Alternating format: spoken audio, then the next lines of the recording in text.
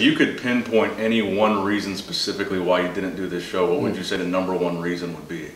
I want to be Mr. Olympia, and I know that giving myself two more months to improve is going to give me um, a more dominant package come November. 100%. Fair That's the reason. Fair Yep. enough. Amongst other reasons too, of course. You know, uh, I get to spend a little extra time with the wife. You know, Yeah. other.